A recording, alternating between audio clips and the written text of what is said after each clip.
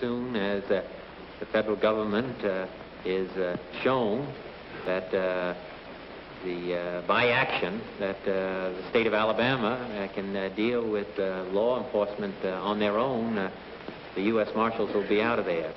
And I think this, I think that the federal government's position has been one which has encouraged these outside agitators to come into our state.